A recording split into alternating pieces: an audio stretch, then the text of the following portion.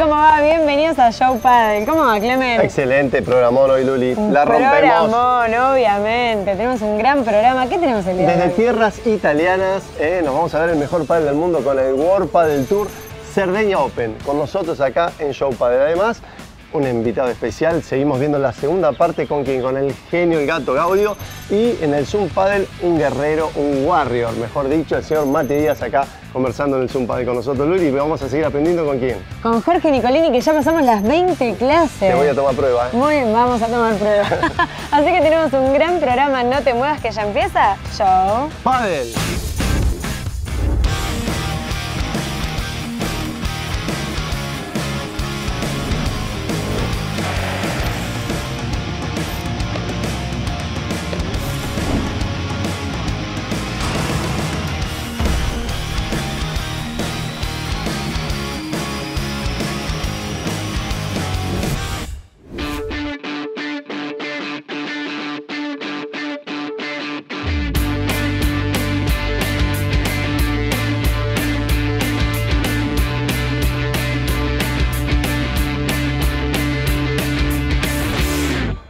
Ese tu nuevo rol de capitán de Copa Davis, ¿te acordaste de algún técnico que lo has hecho, lo, lo has hecho sufrir? ¿A Martín Jaite, por ejemplo?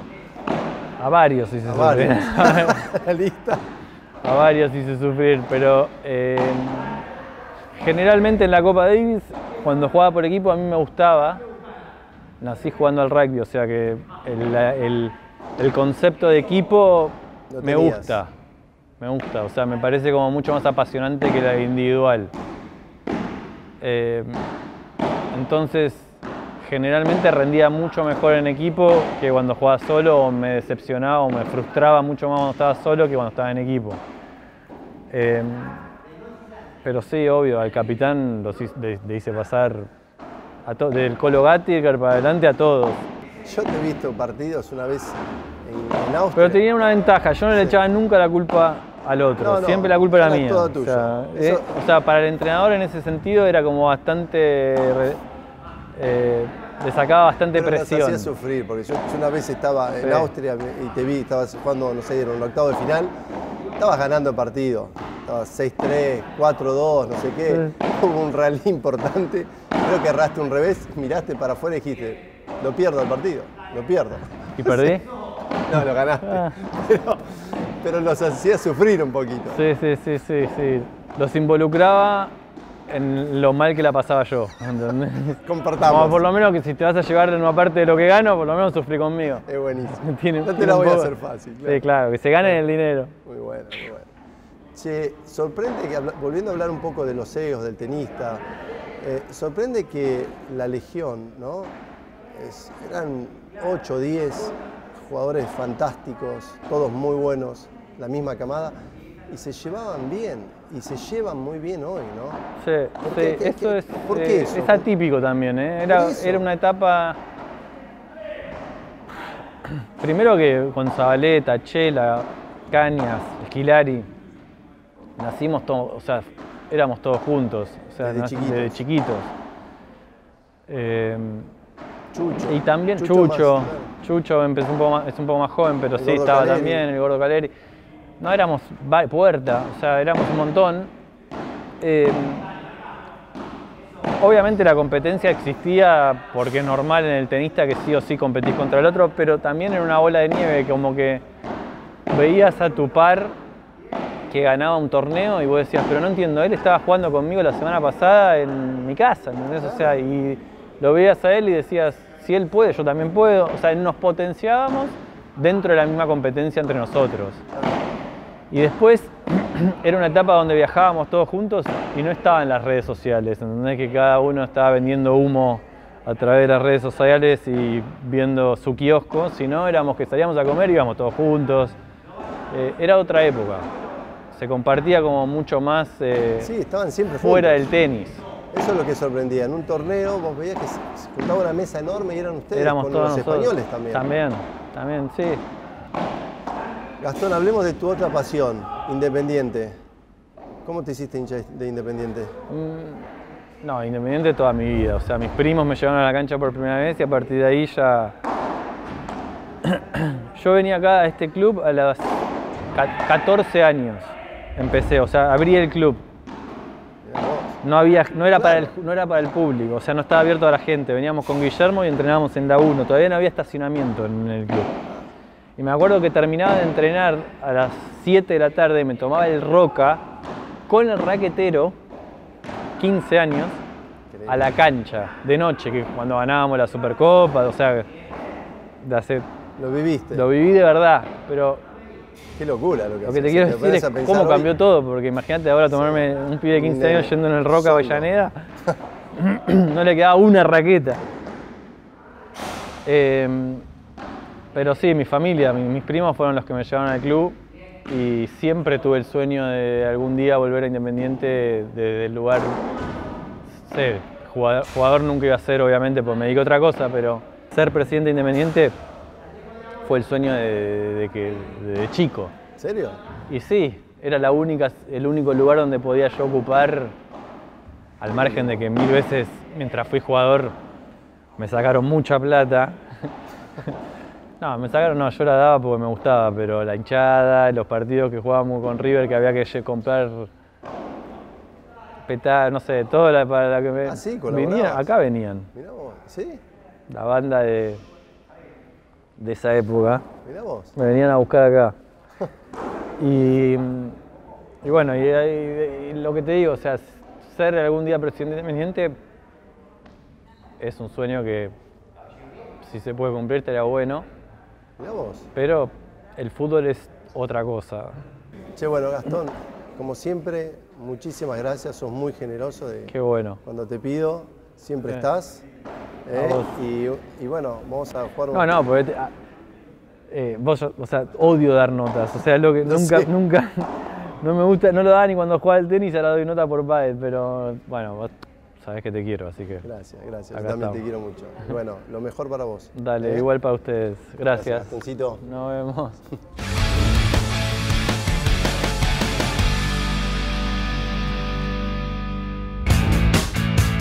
En tierras italianas, los mejores jugadores del mundo lo dieron todo por la gloria. Así que vamos a ver la primera parte de los cuartos de final del Sardeña Open.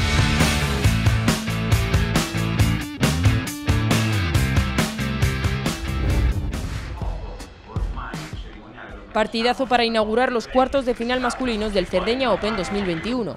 Duelo entre cuatro de los mejores jugadores del mundo que ya han protagonizado batallas de altura esta temporada.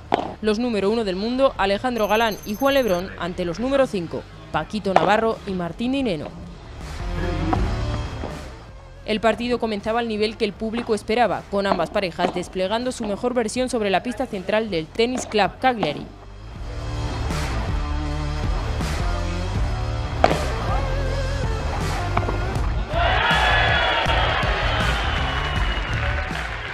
El espectáculo y la emoción pronto se asomaban en un duelo que comenzó con los cuatro jugadores poniendo a buen recaudo su servicio en los cuatro primeros juegos.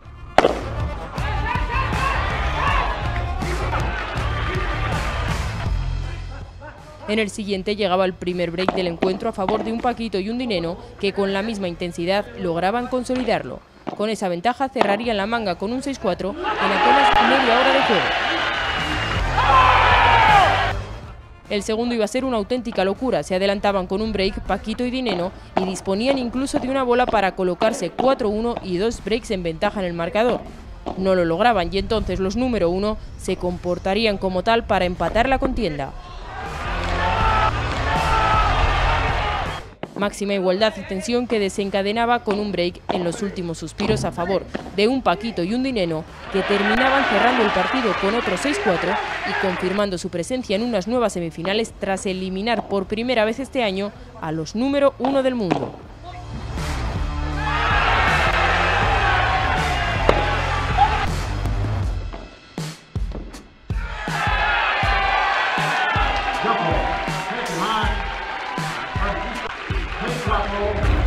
La pista central del Tennis Club Cagliari continuaba repartiendo los billetes a las semifinales del Cerdeña Open 2021.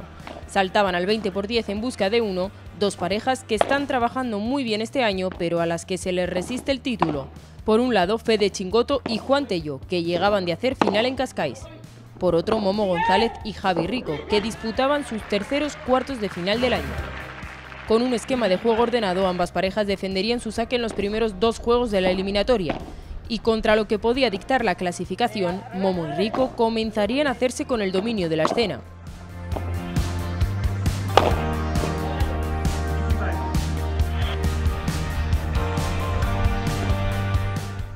A base de pegada y cometiendo menos errores que unos Chingoto y Tello que no terminaban de hacer pie en el partido, los españoles cerraban el primer set en media hora con un incontestable 6-1.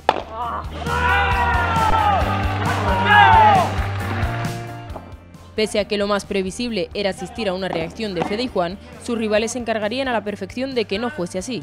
Con otra rotura a su favor, Momo y Javi se colocaban 3-1 arriba en el inicio del segundo set y con las mismas buenas sensaciones seguían avanzando por el partido. Chingoto y Tello despertaban a tiempo para recuperar lo perdido e igualar al máximo el partido. Una igualdad que terminaba con Momo y Javi imponiéndose de nuevo en los últimos compases y cerrando su pase a semifinales con un 7-5.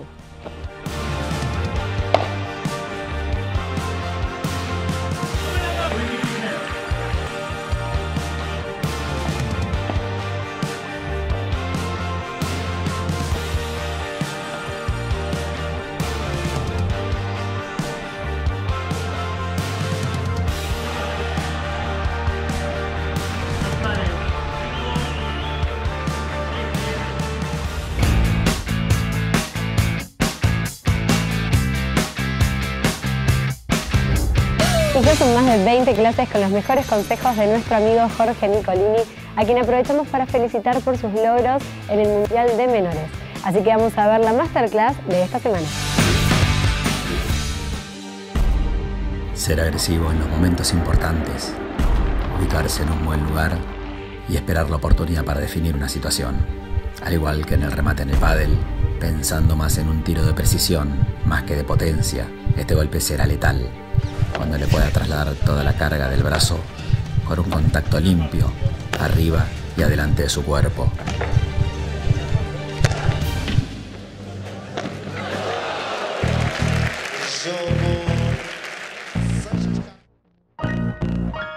En la clase de hoy tenemos uno de los golpes más divertidos y que todo el mundo, sí, sobre todo cuando se compra una paleta, ¿con qué prueba esa paleta? Con el smash. El smash de potencia, que todos queremos que la pelota nos quede adelante y ejecutar ese tiro que muchas veces es ganador.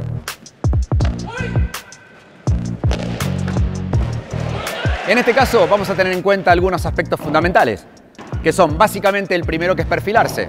Todo lo derecho para los diestros va a ir para atrás y de esa manera queda directamente de lado para el golpe. O sea que cuando giro todo lo derecho para atrás, brazo y piernas, ¿sí? de esa manera quedo directamente con la dirección deseada. En segundo término, cargar lo más rápido posible. A los chicos les decimos rascándose la espalda y de esa manera podemos ejecutar el tiro con mayor potencia porque la carga va a ser más grande. Meterse debajo de la bola y lo más importante acá es contactar arriba de la cabeza, ¿sí? como si quisieran tomar la pelota con la mano. De esa manera, al señalar, cambiamos mano por contacto. Y acá un punto importante que lo hemos visto en otras clases, que es el tema de la empuñadura. Si la empuñadura está en forma continental, como sacando un sable, ¿está bien? ¿Sí? O martillando una pelota, cuando le vamos a pegar, la paleta va a quedar de canto. Por eso ahí es donde tenemos que pronar. En esa pronación, los músculos se retuercen del antebrazo y tenemos mucha más potencia.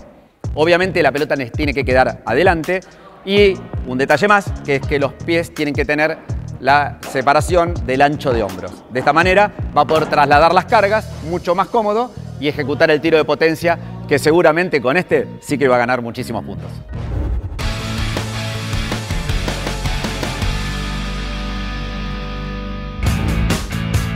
Y acordate que podés revivir todo el contenido en nuestro Instagram, arroba showpaddle, o en nuestro canal de YouTube. Y ahora vamos a ver la segunda parte de los cuartos de final de este certamen italiano.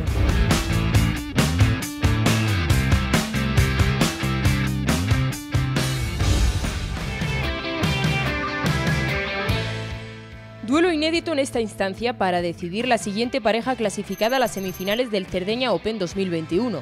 Cara a cara entre una pareja que se estrenaba en unos cuartos de final, Iván Ramírez y Gonzalo Rubio, y otra que ya sabe lo que es levantar hasta dos títulos este año, Pablo Lima y Agustín Tapia.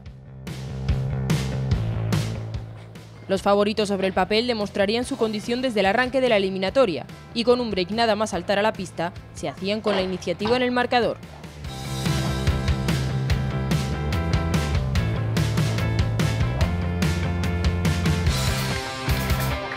Dominando por completo la escena, tomarían también las riendas del juego y eso les servía para impedir que sus rivales hiciesen pie en ese primer capítulo.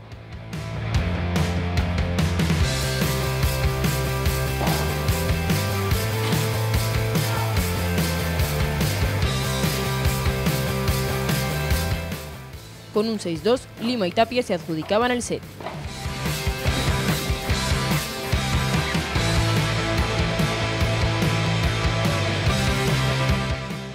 El segundo iba a desarrollarse de manera casi idéntica. Lima y Tapia continuarían con el control absoluto del juego y Rubio y Ramírez no iban a ser capaces de plantar cara a los terceros del mundo.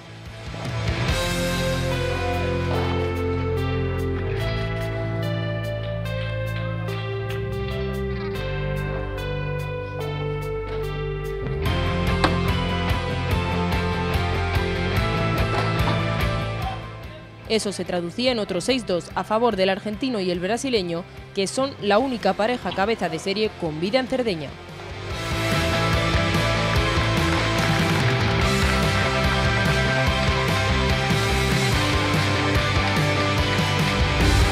El último pase a las semifinales masculinas en Italia se la iban a jugar dos parejas que hicieron vibrar al público en la fase anterior, Miguel Lamperti y Miguel Yanguas frente a Franco Stupasuk y Alex Ruiz. Stupa y Alex tendrían una mejor entrada en el partido. Los de Carlos Pochoni sorprendían a Jan Lamperti a base de un juego rápido y contundente.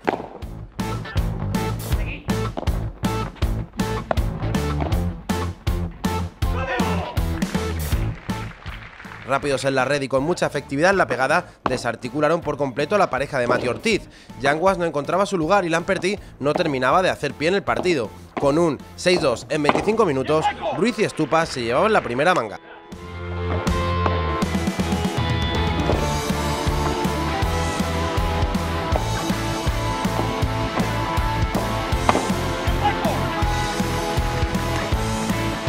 En el segundo todo cambió, Yanguas comenzó a soltarse y Miguel se echaba a las espaldas el peso del partido, los de Pochoni no bajaban la guardia y seguían intentando romper el servicio de la pareja que eliminó en octavos a la número 2 en Cerdeña.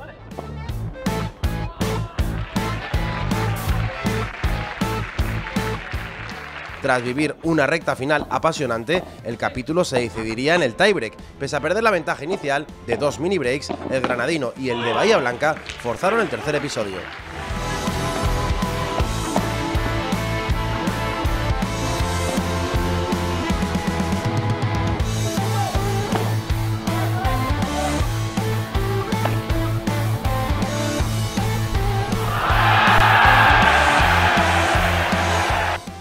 Con amenaza de lluvia, viento y sin sol, es decir, todo lo contrario a los dos anteriores sets, el partido se reiniciaba con dos parejas que combatieron a espada hasta el último punto. Superábamos el ecuador del set y seguía la paridad. Sería en el décimo, en el décimo juego, cuando Stupasuk y Ruiz conseguían la rotura que les entregaba la llave para las semifinales.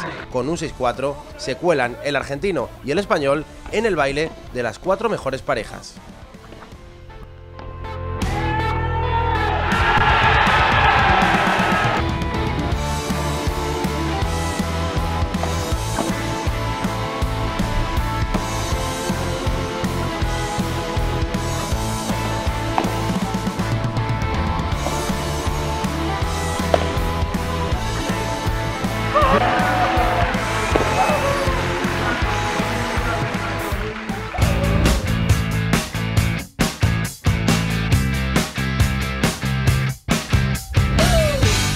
Argentino, guerrero y hasta es un poquito parecido a Messi. ¿Sabes de quién te hablo? Bueno, Mati Díaz es el invitado de esta semana de Zoom Padre. Quédate para verlo.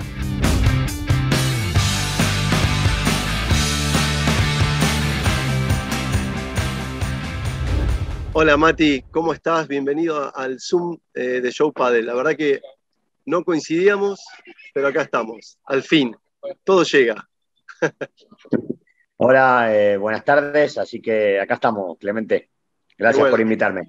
Nada, nada, un placer. La verdad que eh, nos conocemos hace, hace un tiempito y nos hemos cruzado en varios torneos, pero bueno, no, no, no, nunca podíamos. Che, Mati, ¿sabes que me gustaría empezar arrancando de tu época acá en Martínez, que me cuentes un poco el club, donde vos empezaste a jugar, eh, todo un poco la historia de tu papá, el rol de tu papá, que fue muy importante eh, para vos, para tu hermano, en el inicio del pádel y después también el pádel competitivo, y también de mucha gente que iba a entrenar con ustedes, ¿no? Inclusive hasta Vela, y Vela creo que vivió en tu casa, ¿no? También.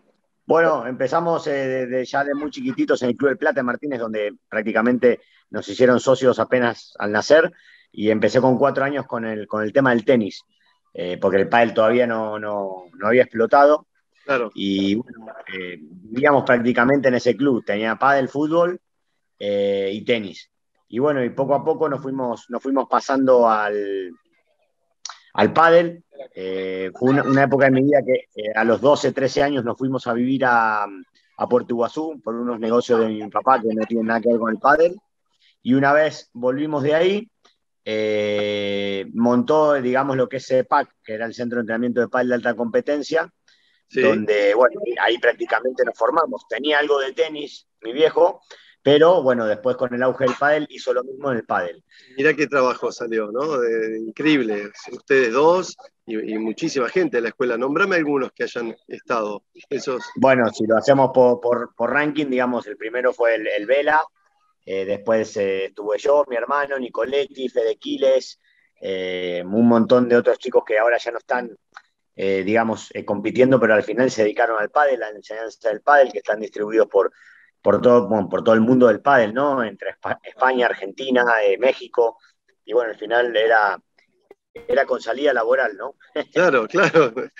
La verdad, la verdad, la verdad que sí, eran todos cracks, no, eh, inclusive hasta el día de hoy hay chicos que siguen jugando hoy, ¿no? En diferentes competencias, ranking, todo, pero siguen estando. Bueno, somos de esa quinta, ¿no? Estamos entre 38 y 42 más o menos, y bueno, ahí todavía seguimos vivos.